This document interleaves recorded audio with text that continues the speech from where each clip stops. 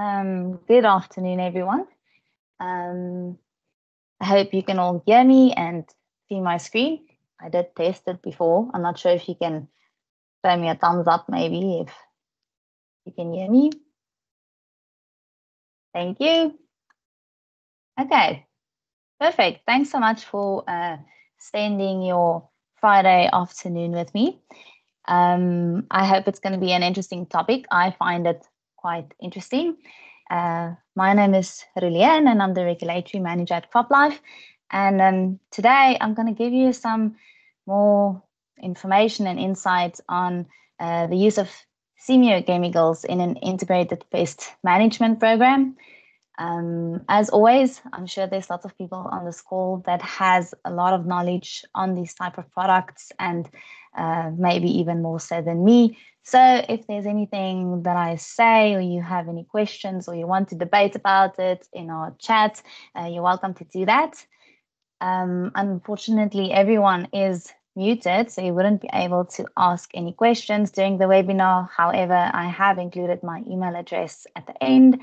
And if you do have any specific questions, you are welcome to contact me after.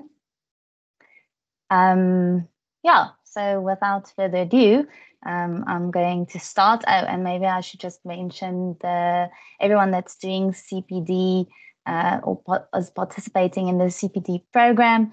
Um, after the session, you can go and do the questions for the CPD points.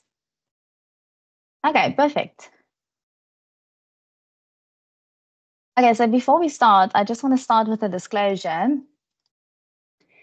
Uh, to be able to show the different types of products on the market and the, the various techniques that um, is being used, there are a few products specific products that are mentioned during the presentation.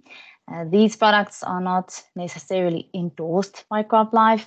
It's just merely for demonstration purposes, so please keep this in mind.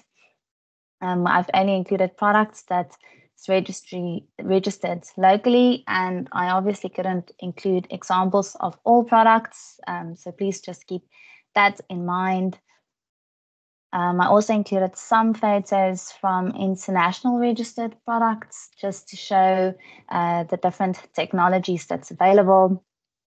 And then I just also want to acknowledge insect science because a lot of the photos and diagrams that I've put in my presentation today um, is from insect science and they've also included it on our uh, SABU semiochemical module uh, that we are using um, at CropLife. So uh, I just want to extend a thank you to them for letting me use those pictures as well.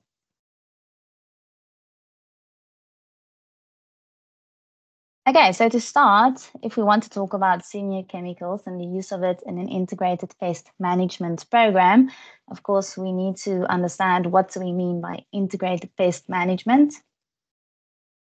Uh, so you would see integrated pest management, and I think everyone's aware that it's usually abbreviated IPM, but essentially it is the use of all available pest control techniques and the subsequent integration of appropriate measures that discourage the development of pest populations. So that means it's not just chemical control, but you would use any type of technique um, to try and keep pest populations below economic threshold levels.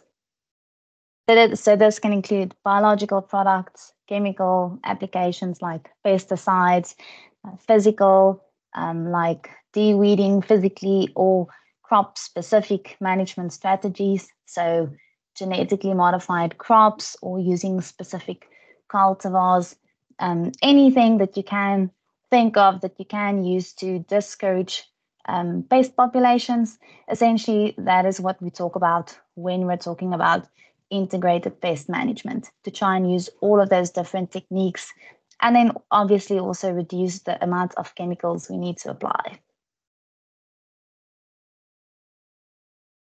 So semiochemicals is an important part of integrated pest management and it can be valuable to, to use as a monitoring and control strategy in an IPM program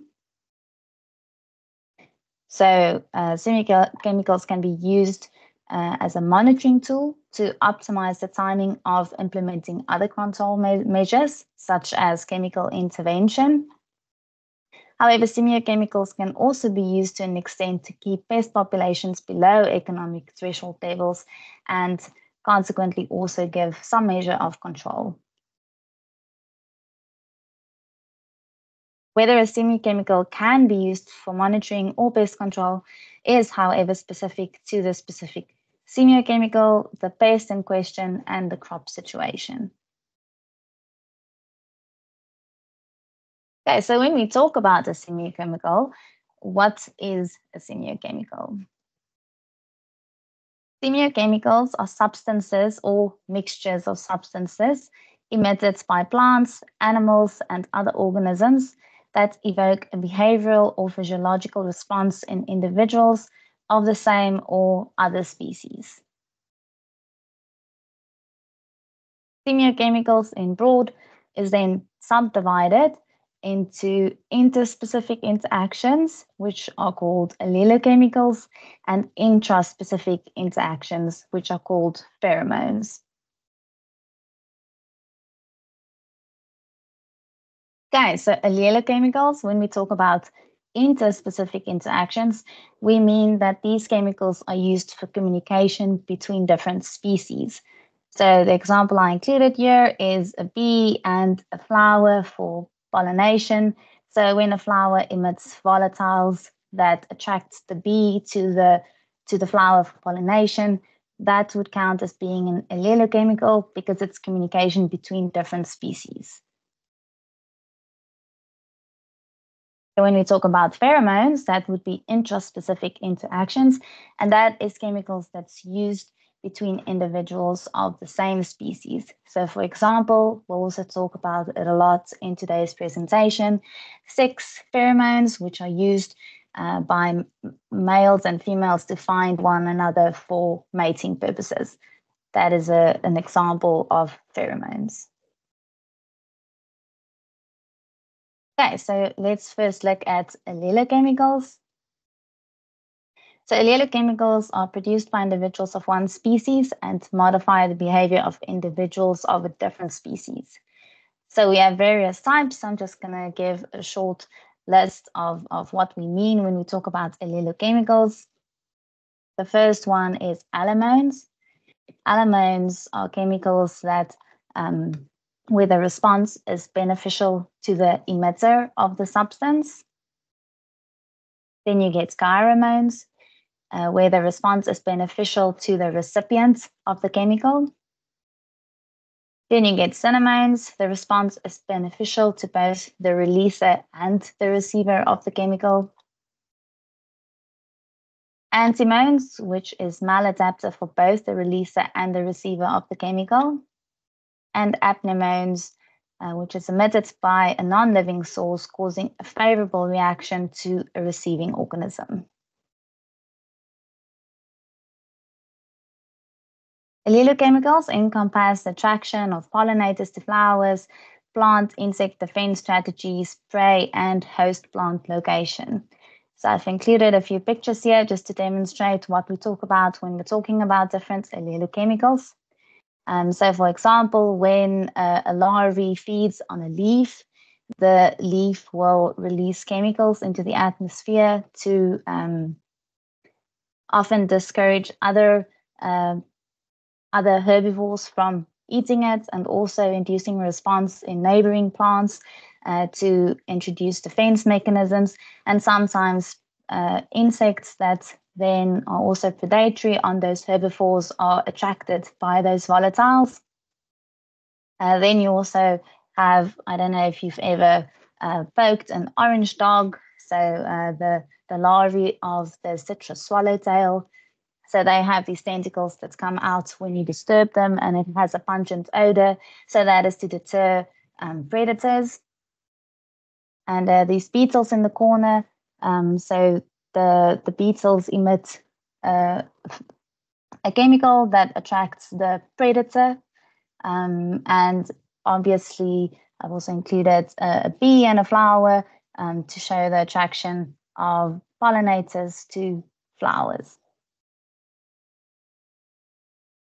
So we have to remember with the chemicals in general, these signals are usually not species specific, and management strategies using chemicals may also therefore affect other non-target organisms.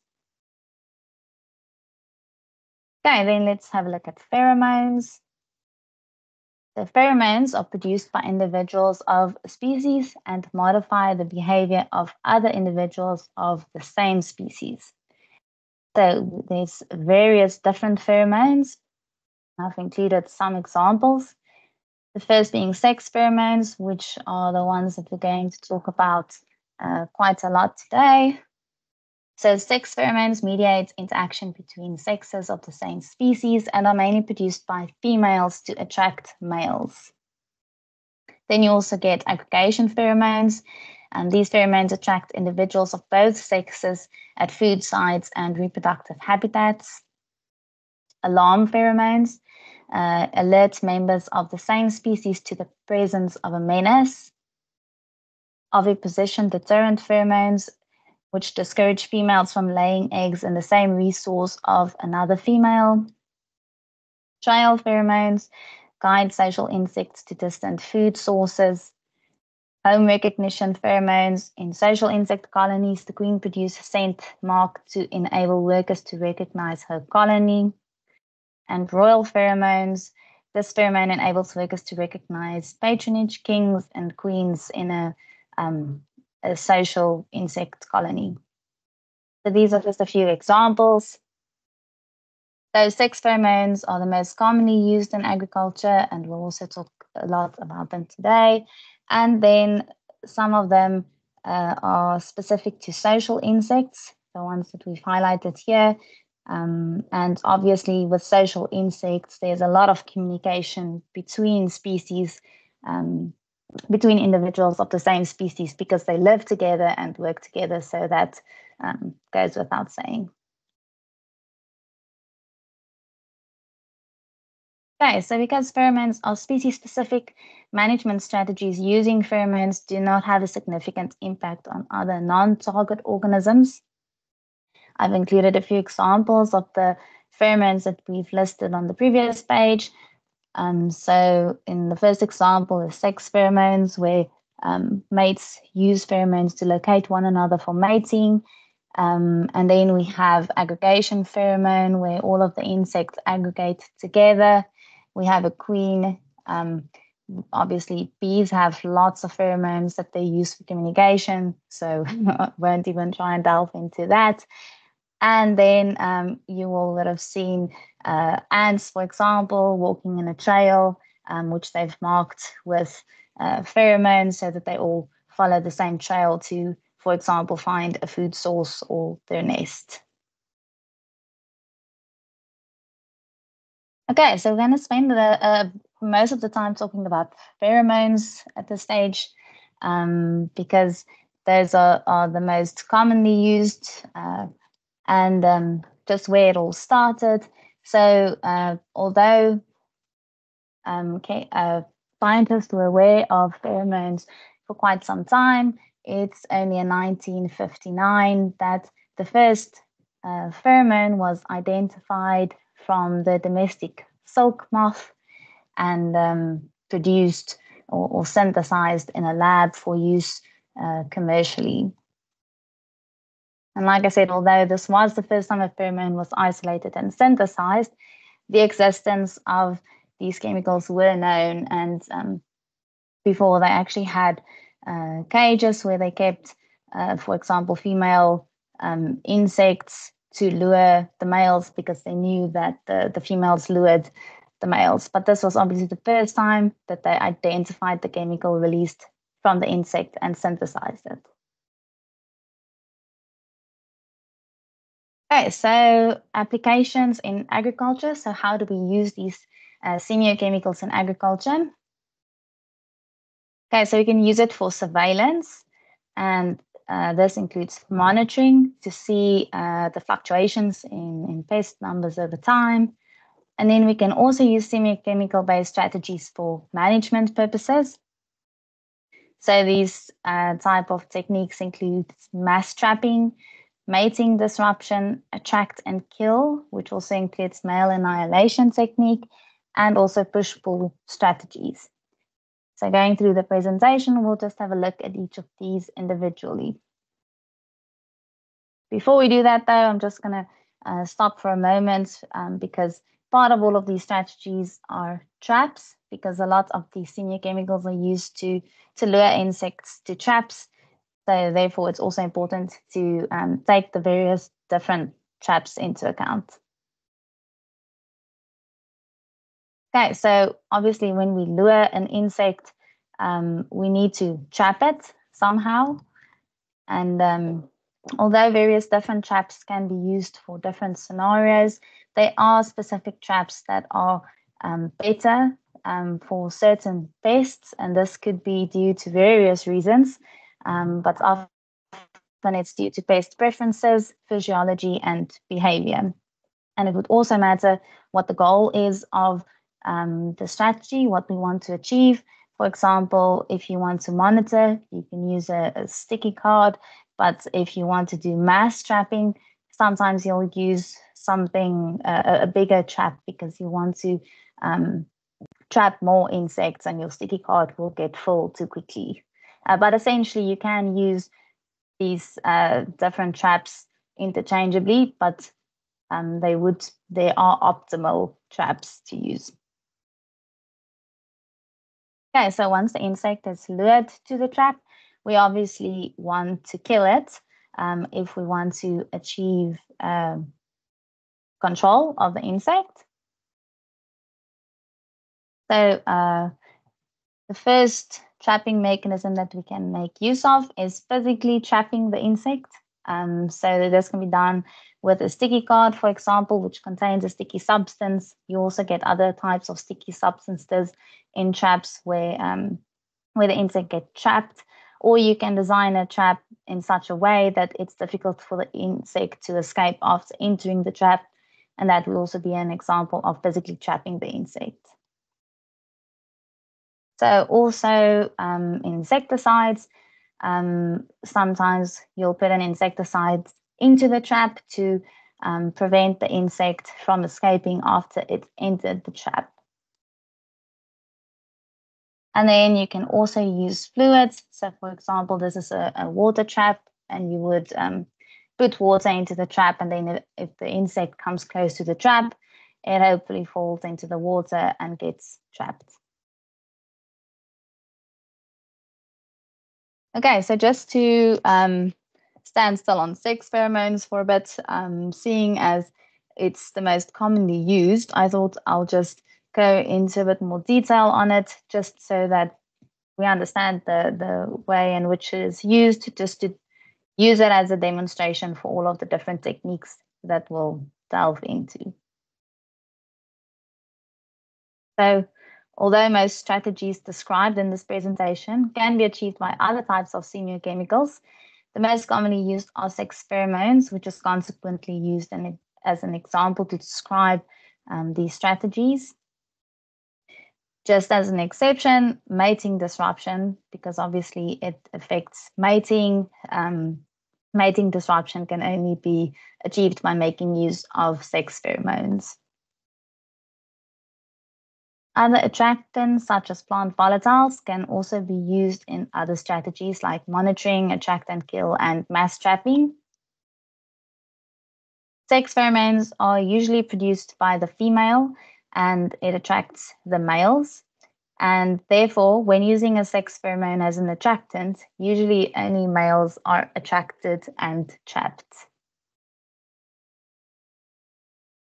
So the best known in agricultural application is straight-chained Lepidopteran pheromones, which is produced by the order Lepidoptera, which uh, is the order of insects containing butterflies and moths.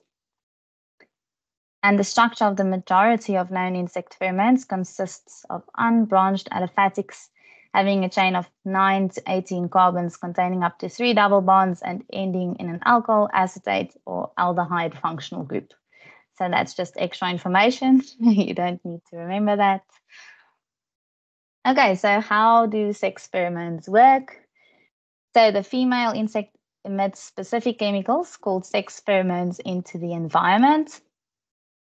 And the pheromone molecules travel through the air and create a concentration gradient. The male insect of the same species then detects these pheromone molecules using specialized sensory structures, um, such as the antenna.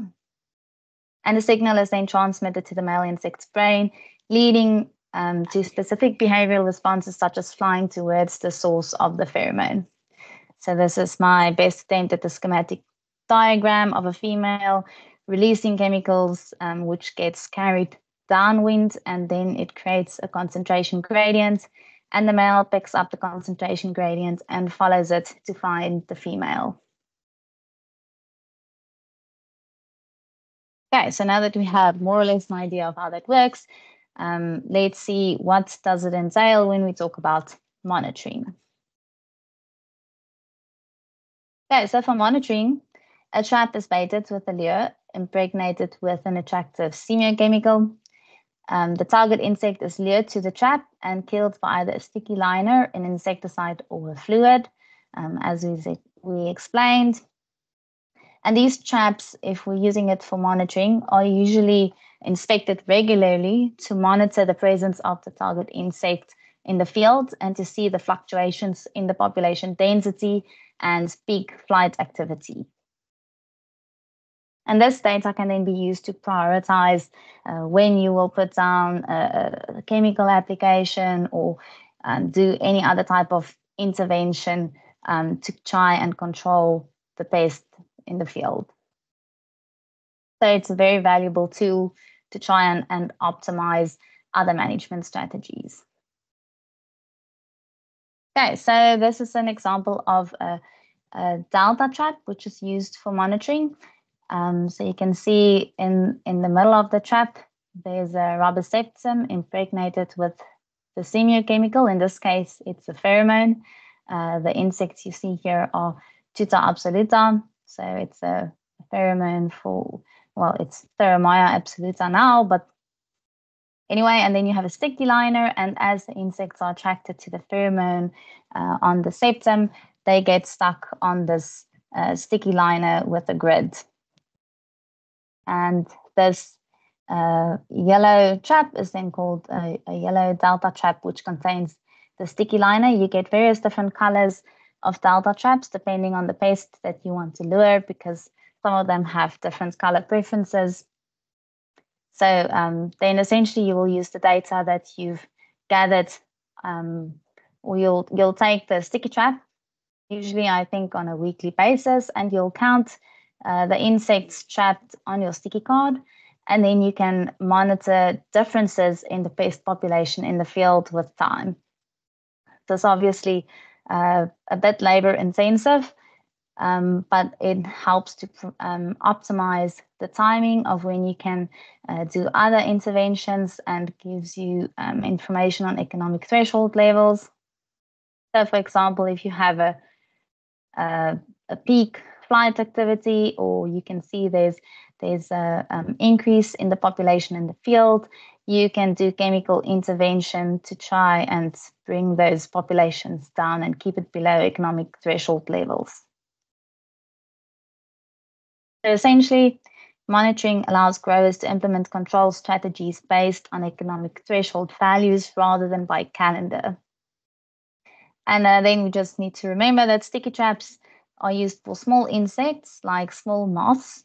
Um, it's obviously a bit more difficult if you want to monitor bigger moths. You can't use a, a small sticky trap. Um, it wouldn't work as effective, and you'll only catch one or two moths, and then the whole thing would be full of scales um, because most moths, all moths, have scales on their wings. So it also affects the stickiness of the trap. You also get other sticky cards that you can use for monitoring.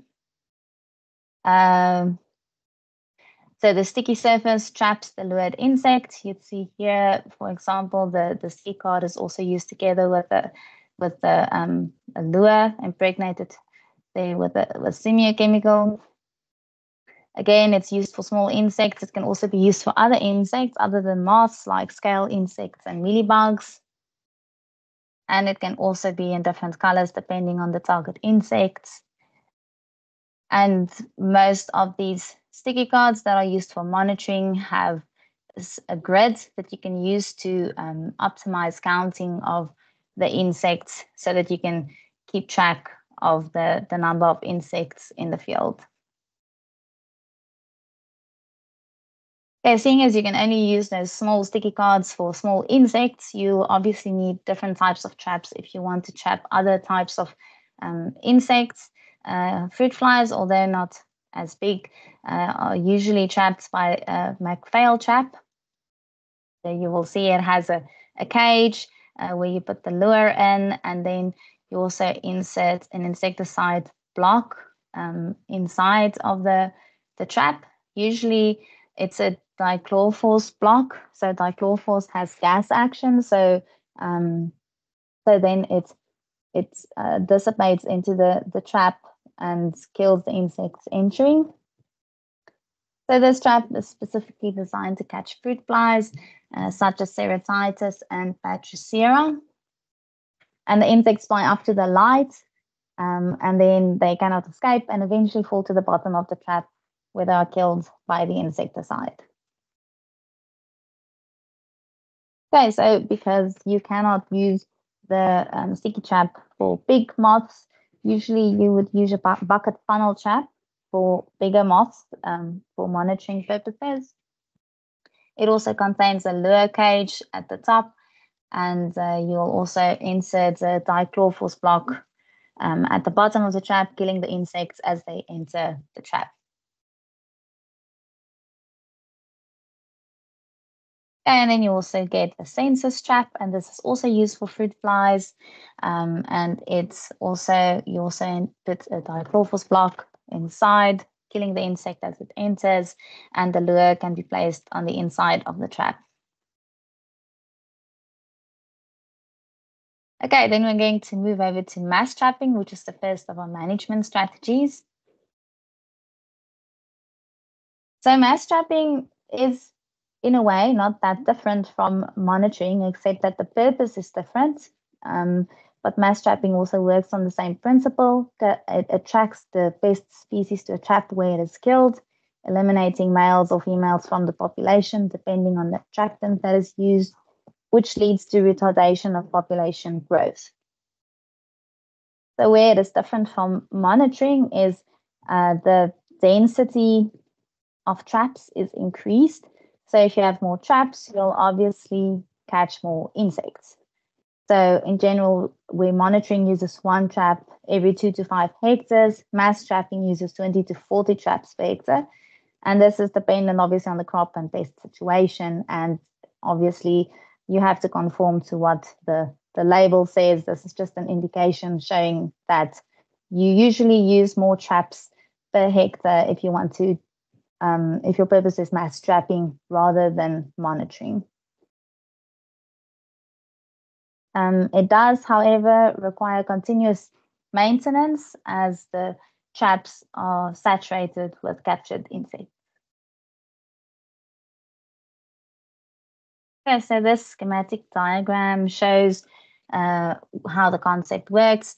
So essentially each of the traps um, would lure insects to the trap and like we said, if you um, use monitoring, you would use less traps, but now you would put out lots of traps to try and catch as many insects as possible, um, essentially uh, mass trapping a lot of the population.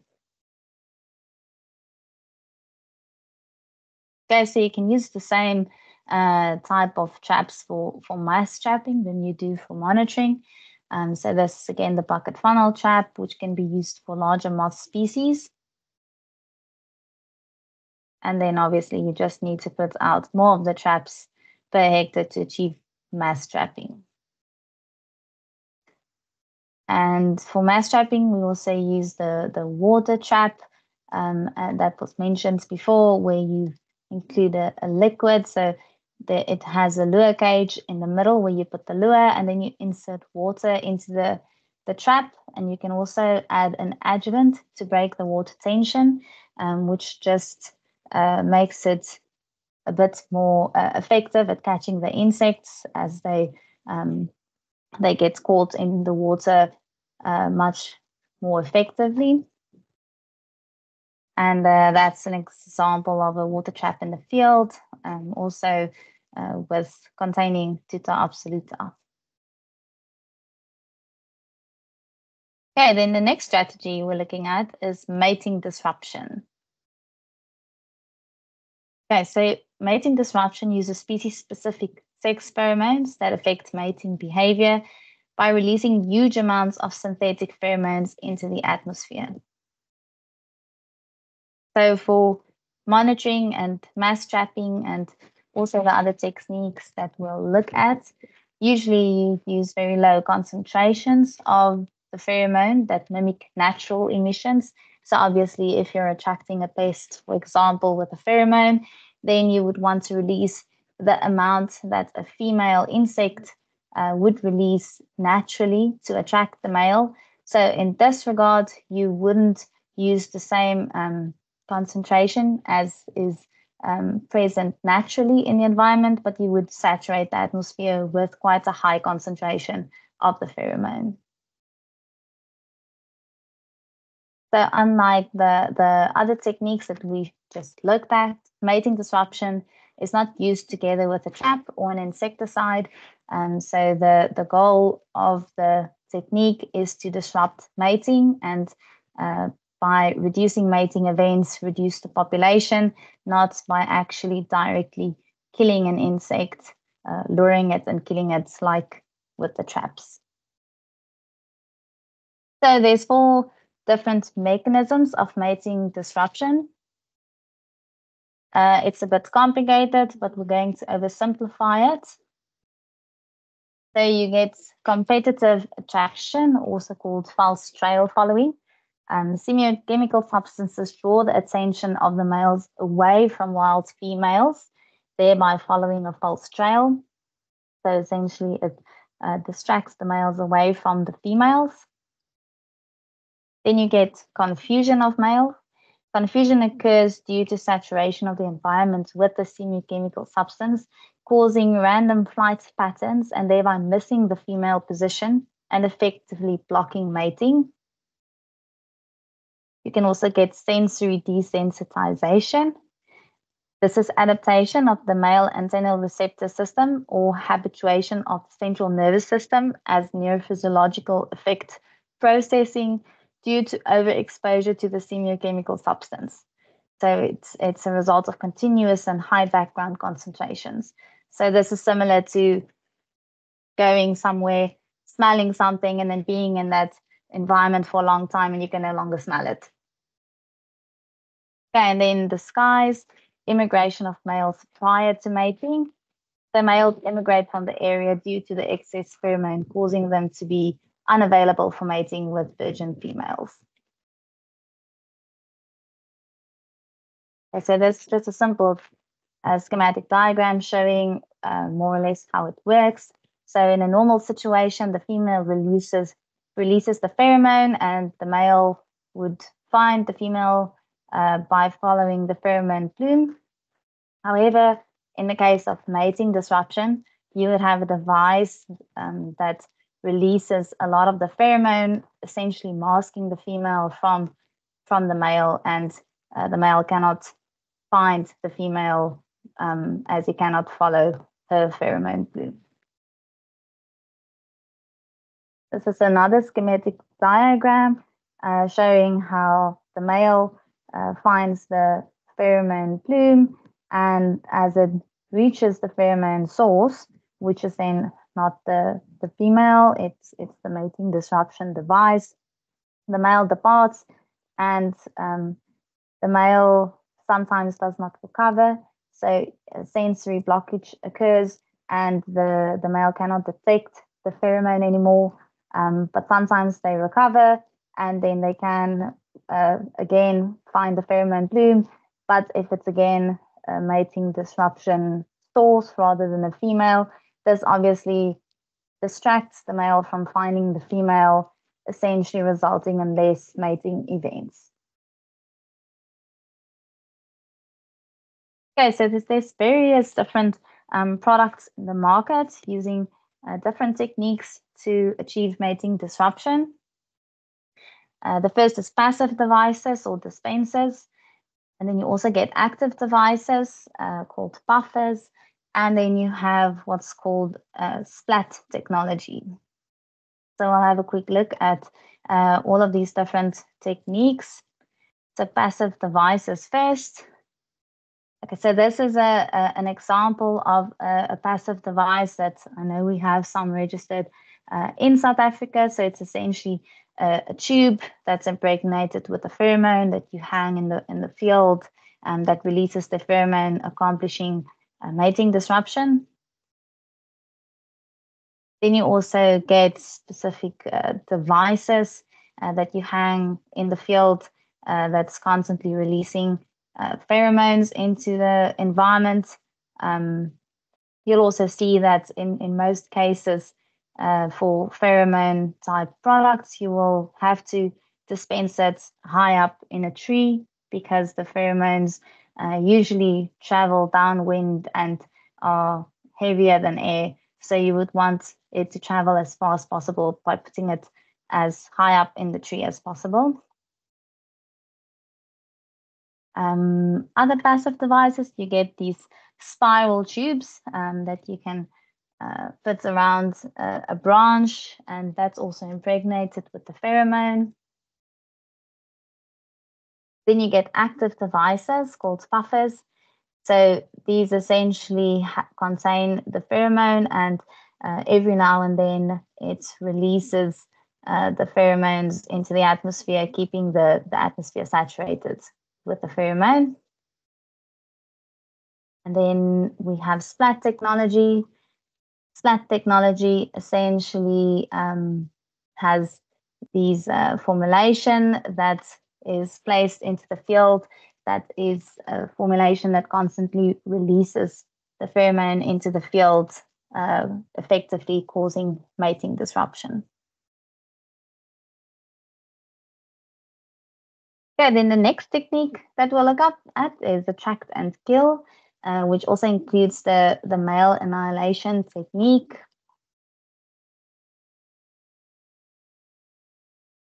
The attract and kill is a tactic used for trapping and simultaneously killing the captured insects. Um, although some of the other techniques that we looked at do the same, um, this is specific when we refer to um, the, intract, the attractant incorporated with a with an insecticide. Uh, so the insect is attracted to the formulation and then killed by an insecticide, and you get these sometimes as a ready to use formulation um, but you can also buy attractants and insecticides separately and then uh, mix it before application. So the attract and kill technique essentially uh, works by uh, attracting the insect to the formulation um, containing the insecticide, and then as the insect reaches the, the attractant and the insecticide, it will be killed on contact. So you get, like I say, different types of attract and kill products. Sometimes they're ready to use formulations that you can apply in the fields containing, in this case, a pheromone and an insecticide to kill the insect as it reaches uh, the attractant. But you also get protein food baits, for example, protein hydrolysate liquid um, used to attract uh, fruit flies, and then you can mix it with a suitable insecticide um, that's registered and apply it in the field to attract fruit flies and kill them on contact.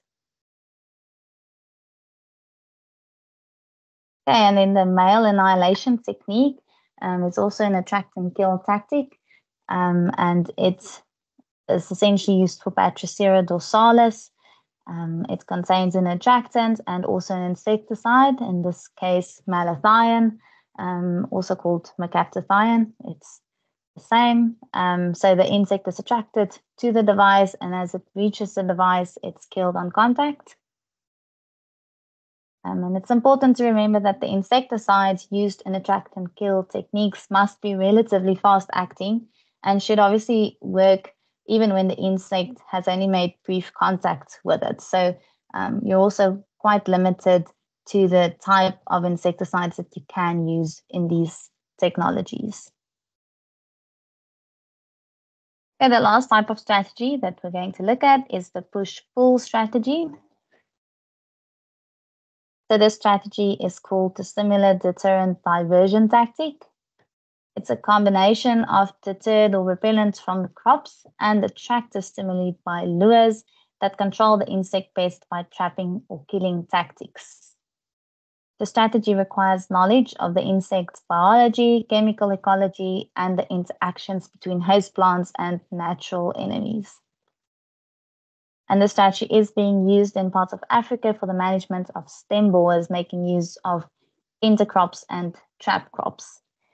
So essentially, when using a push-pull strategy, you would want to use something that pushes the insect away from uh, the crop that you want to protect and pull it towards something else, for example, a trap crop, where um, you can, for example, uh, use an insecticide on the trap crop to kill the insects that's lured there or, or various different other techniques. So this is a, an example of how it's used uh, to uh, deter insects from, from maize plants by using a repellent plant to remove it from where the maize is growing and trap plants that are attractive to the insect. Thus, they are repelled by the repellent plant and then attracted by a trap plant, um, essentially keeping the population low in the in the crop that you're trying to protect.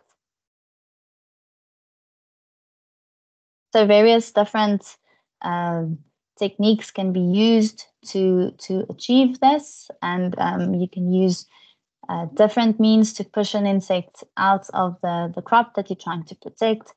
For example, visual distractions, non-host volatiles, anti-aggregation pheromones, alarm pheromones, oviposition deterrents, and anti-feedants. And then you can also use something that would attract the insect to a trap crop that achieves the pull part of the push-pull strategy. And this could be visual stimulants, host volatiles, aggregation pheromones, sex pheromones, oviposition stimulants, and gustatory stimulants. Okay, so the advantages and the disadvantages of using semiochemicals in pest control. So you'd see I listed target specificity both as an advantage and a disadvantage. So obviously it's a great advantage if you want to control a specific pest.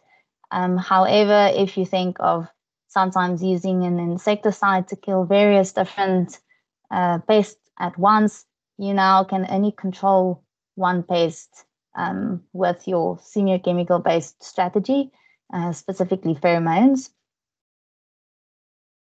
Another advantage is reduced risk of residues. So because you are going to hopefully optimize your sprays and um, not use calendar sprays, you would use less chemicals and you could also uh, try and keep the, the population below economic threshold levels and therefore use less chemicals, which results in less residues. Um, and then also reduced chemical exposure if you're using less chemicals to, for example, the, the laborers that's applying chemicals. And uh, most of the, the chemicals identified for use in um, agriculture as semiochemicals have minimal impact on humans and, and other non-target species. And uh, another advantage of using semiochemicals is it has a cumulative effectiveness so if you keep on using the the um, control measures over multiple generations, you usually see a decrease in, in your populations over time. And because you're using um, a, a, chemical that's not as um, the selection pressure is quite low or lower as for uh, an insecticide, you have a reduced risk of resistance development and usually you have a no re-entry interval after um, making use of chemicals and applying chemical measures in the field. Some disadvantages of using semiochemicals. So it requires significant initial initial investment and research. And even though this is the case also for lots of pesticides, uh, it's it's quite uh, in it's quite specific to the the scenario, the insect, the crop. Uh, it it takes a lot of research uh, to get to the um, to the product that you're going to use eventually. So it takes just as long or longer to to develop a product. Um, it's not effective against all pests, so all insects are not necessarily um, olfactory stimulated and cannot necessarily be controlled by making use of semiochemicals, so it can only be used for certain pests. Uh, it's usually slow acting compared to insecticides, so you won't uh, necessarily apply uh, the product today or use it today and see a decrease in the population tomorrow. Uh, as with insecticides, it usually takes uh, quite some time to see the, the results. Also, because the, the volatile chemicals used in these products are very volatile, so you have to um, often use cold storage to keep the products viable for a long period of time. Otherwise, the volatiles dissipate and, and the product doesn't work anymore. So you need cold storage. And if you want to, for example, do uh, monitoring and mass trapping and all of that, it can sometimes be quite uh, labor intensive. Okay, so then I'm just going to also give you a, an overview of how you identify semiochemicals for pest control strategies. Um, and this is just the scientist in me that finds this fascinating. So I hope you find it fascinating too. I'll try and not go into too much detail. Okay, so a lot of research, research goes into identifying semiochemicals that can be used in agricultural uh, settings and for monitoring and control of pest species. As we mentioned, not all insects respond strongly to semiochemicals. And often an attractive blend of compounds are needed, not just a single compound. Uh, these blends need to be released at a specific rate and in specific ratios. So it can become quite complex to, to identify that blend and exactly the, the quantities that you need to um, achieve attraction and to ensure that it's released at the, the right rate and in the right ratios. Okay, so both pheromones and allelochemicals can be investigated for use in semiochemical based management strategies. So if we look at pheromones, pheromones are, like we said, species specific and can be used in minute quantities as they are attractive at the same concentration as would be released naturally in the environment. And this is obviously not the case for mating disruption um, but for all other uh, control measures where we want to attract the insect, we use, we, we use the same concentration as what, what would be used naturally. So if we make use of allelochemicals, however, such as host plants volatiles, um, these are usually not species specific and would be attractive to several herbivorous species. It's not always the case, but um, sometimes, most often, and often these uh, chemicals, if you use them, are required in higher concentrations than um, would be detected uh, in a natural environment. And this is because there's obviously lots of plants in the environment where you use these um, measures. So there would be a lot of background levels of these chemicals already in the environment. Okay, so step one, I've obviously oversimplified this, but just uh, as a more or less to give an idea of how uh, you would go about identifying a semiochemical for a product. So first we need to determine whether the insect is attracted to the source being investigated.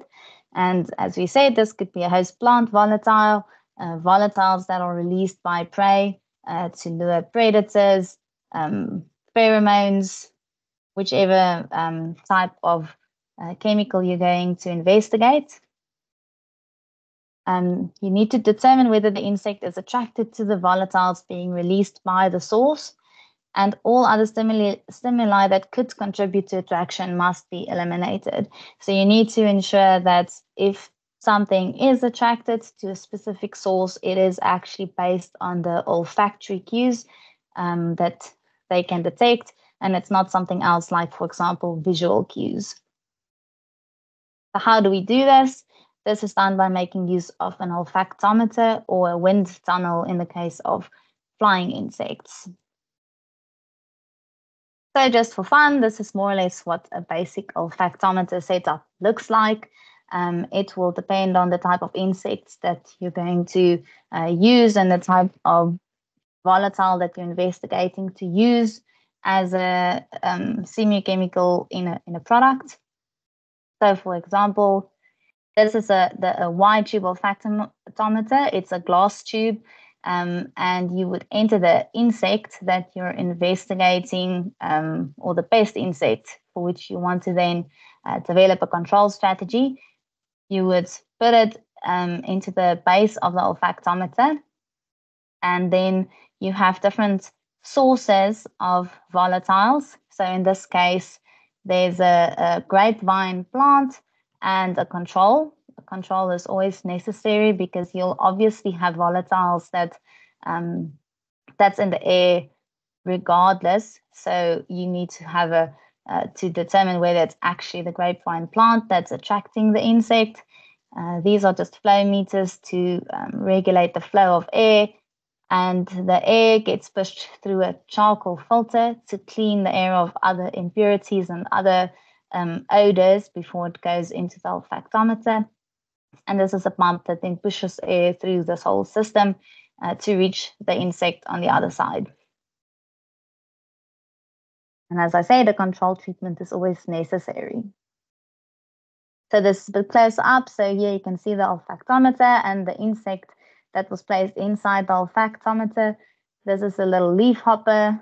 Um, and you can see it makes a decision on the side of the olfactometer that it chooses, and then we can uh, record that and see if it chooses that side significantly more than the control option, and in that way determine whether it seems to be attracted to the grapevine plant or not.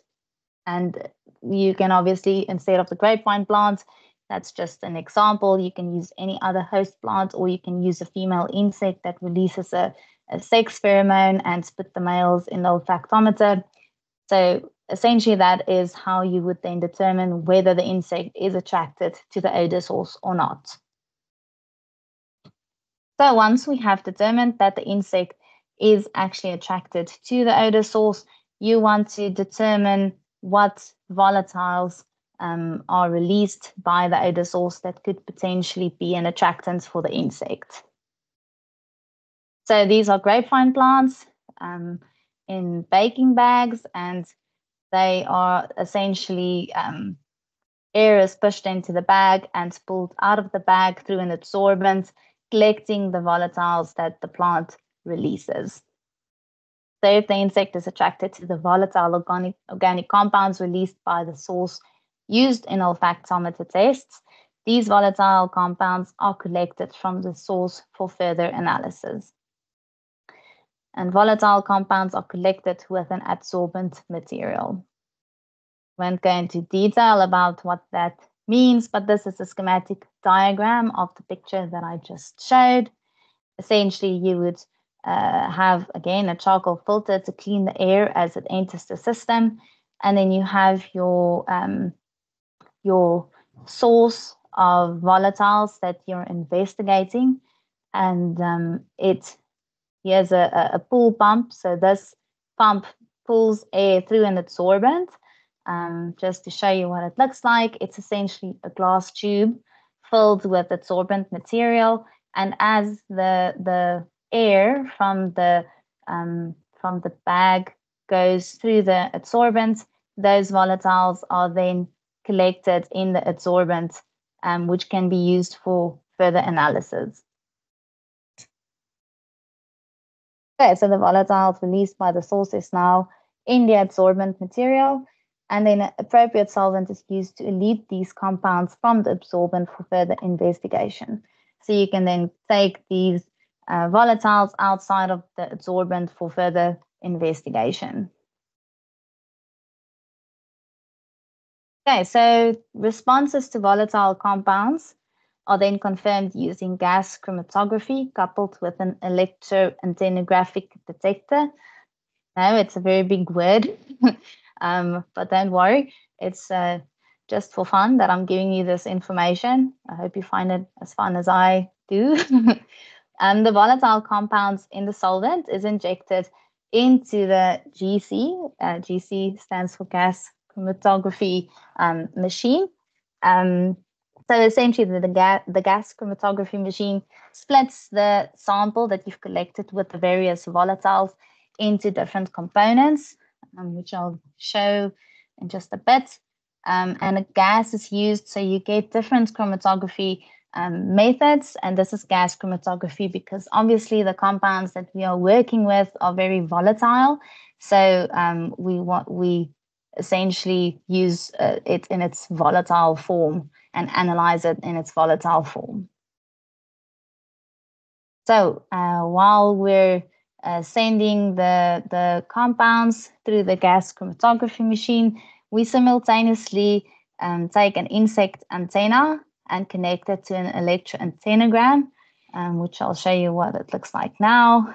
And the gas chromatography machine splits the blend of compounds into its individual components, which relies on differences in the physical and chemical properties of the compounds, such as the mass and the polarity of the compounds, to which the insect antenna is subsequently exposed. The electroantennogram measures a voltage difference in the antenna when a volatile compound induces a physiological response. So that's when the insect detects the compound indicating potential chemicals for further investigation. Okay, so I know that was very complicated, but uh, just in essence, so essentially this is a gas chromatography machine, and essentially what it does is if you take your volatiles that you've now collected from the grapevine plant and you inject it with its solvent into the machine, it's an oven and it contains a column um, and those compounds are split according to different characteristics of the chemicals, which essentially allows the chemicals to be split from one another so that you can have one or two chemicals eluting um, at a time and not the whole blend of chemicals at once so that you can detect whether an insect detects a specific compound in that blend. And this is coupled to the electroantennogram machine, which um, is what we use to see if the, the insect can actually detect the molecule that um, came out of the sample that we've collected from the plants. So this is a schematic diagram of what we've looked at, and I hope it still makes sense. Um, so this is the gas chromatography machine. This is the column through which you inject the sample, and then it's um, the sample essentially comes out of this tube. And like I said, um, each of the volatile components are now split. So the um, the volatile compound comes out of the, the tube uh, one compound at a time or very few compounds at a time.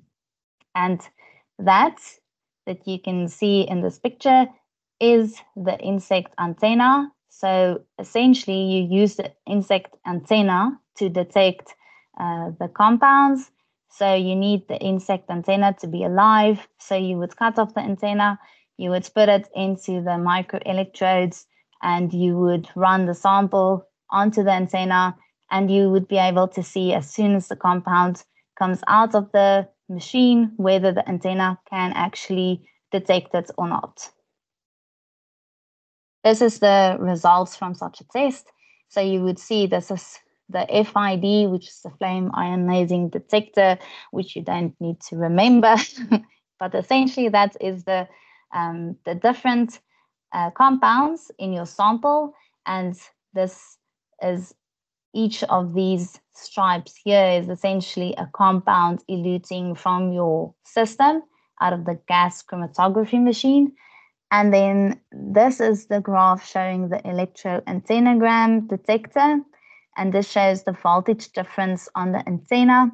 And you can see when this these two molecules eluted from the, the sample, the insect had a voltage difference on its antenna here, showing that the insect can detect those molecules that came out of the sample.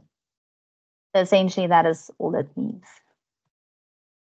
So then you need to identify the compounds that has uh, eluted out of the, the system.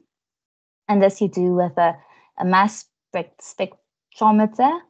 Um, so essentially, mass, mass spectrometry is an analytical technique that is used to measure the mass to charge ratio of ions and the results are presented as a mass spectrum, a plot of intensity as a function of the mass to charge ratio. And the resulting fragmentation pattern is compound specific and can be used for identification. Again, a very complicated um, section, but essentially what it does is it takes the compound as it eluted out of the gas chromatography machine it fires a bunch of electrons at it. It breaks the compound up into its smallest components, and those components are specific for each compound. So that fragmentation pattern. So if you look at the last sentence, the fragmentation pattern pattern that results is compound specific and can be used for identification. And this is essentially what it looks like. This is four different compounds and their mass spectrometer uh, signature, for example, uh, it's a fragmentation pattern, and that would be specific for each compound. Um, and you can match it to a library to see what compound it is. You obviously have to also then use an analytical standard to confirm it. But anyway, that's just for interest's sake. okay, so you've now identified the compounds that induced a response and you've confirmed with mass spectrometry and analytical standards uh, what compound it is that induced a response in your insect. Now, once you have the compounds identified, you have to determine the optimal ratio of these compounds, especially if there's more than one. You also have to confirm behavioral responses with these isolated compounds in a laboratory and a field setting and investigate various techniques of application. So, how can you use it? Can you use it uh, for mating disruption? Can you use it uh, for mass trapping? Um, do you use it with, with a trap or not? So, you'll have to investigate how you can use it. Of course, if you are going to develop a product, the only way that you can develop a product is if you can produce these chemicals synthetically. If you can't produce them synthetically or have a, a relatively cheap and easy way to do it, you cannot sell a product um, or make a product containing these chemicals. So that is a whole other ball game that takes a lot of effort um, to develop. And then um, after you have your active ingredient, which is your pheromone or other semiochemical that you're using for attraction, you obviously have to formulate a product. So you have to identify the necessary co-formulants uh, to have a final product. These could often, for these type of products, uh, entail UV protectors so that the, the compounds don't break down. Um, something that might control the release rate of these chemicals into the atmosphere. And if you're doing an attract and kill technique, for example, you'll have to decide uh, what insecticide to include in your product. And then only at the end, you can register your product. Okay, so that brings us to the registration of semiochemical based remedies. So, as most of you would be aware, um, agricultural remedies are regulated under the Fertilizers, Farm Feeds, Agricultural Remedies, and Stock Remedies Act, which is Act number 36 of 1947. So, if you look under the Act at the definition of an agricultural remedy, an agricultural remedy means any chemical, substance, or biological remedy or any mixture or combination of any structure or remedy intended or offered to be used for the destruction, control, repelling, attraction, or prevention. So I'll just stop there. But essentially, you can see if you take the definition from the Act, a semiochemical based product that you want to uh, make a claim that it controls or repels or attracts a pest, you have to register it under the Act. So we obviously know that uh, semiochemicals are different to other chemical pesticides. Um, so we also have a guideline on the data requirements for registration of biologicals or biopesticides in South Africa. And in that guideline, it does mention semiochemicals and states that re reduced residue data requirements may be applicable. No residue data are required whether products or devices, such as pheromone traps, do not come into contact with the plant parts.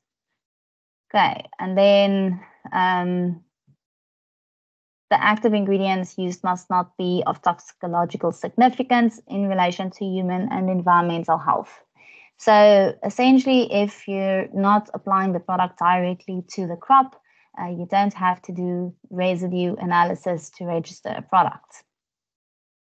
And then if you look at the Department of Health, and their guidelines uh, for toxicological assessment.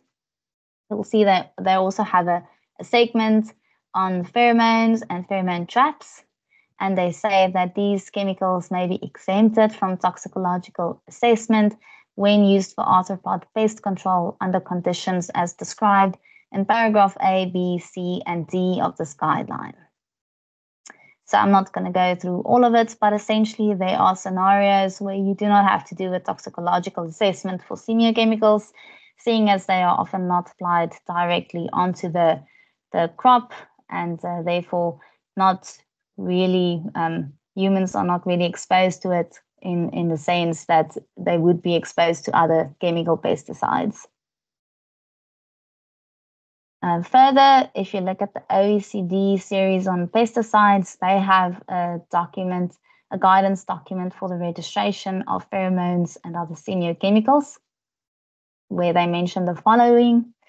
In developing a regulatory approach for arthropod semiochemicals, the inherent differences between these products and conventional chemical pesticides were taken into consideration Semiochemicals act by modifying behavior of the pest species rather than killing it, are more target specific than conventional insecticides, are used at concentrations close to those in nature, and dissipate rapidly. For these reasons, it is expected that most semiochemical products pose lower potential risk to human health and the environment than conventional pesticides. So, the rationale for reduced data requirements for semiochemicals can be attributed to the following. The application rate is typically low and probably comparable to natural emissions. Volatility and rapid environmental transformation minimize residues in crops and exposure of non-target organisms. And they are of low toxicity to mammals. SCLPs just refers to um, the Lepidopteran pheromones that we spoke about, straight chain lepidopteran pheromones, which are the most common, but essentially pheromones in general of low toxicity to mammals.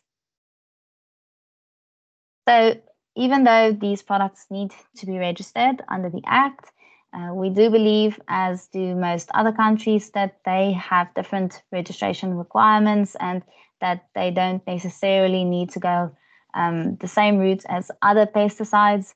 Uh, but it needs to be specific to the scenario. For example, if you think of a pheromone um, where you're doing registrations, you might only need to collect efficacy data for the pest and not for each crop because um, it's pest specific and not crop specific.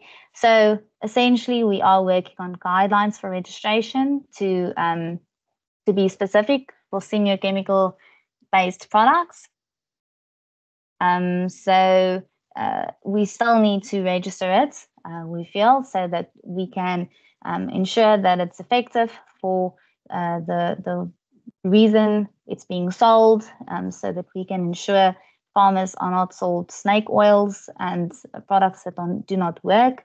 It has to be safe and um, therefore, we, we still believe that registration is necessary, but it should be specific to the type of products. So CropLife South Africa and SABO, um, which is the biopesticides organization, have a collaborative working group that's currently looking into drafting a semiochemical specific guideline for registration. Um, so anyone that is interested in joining that working group can contact Hanelet, which is the chair of that working group. Um, so we will hopefully soon have clear guidelines on how to register these products in South Africa. Also, just interesting to remember is because these re remedies are considered agricultural remedies, they are registered with L numbers like pesticides, and they can also be found on AgriIntel.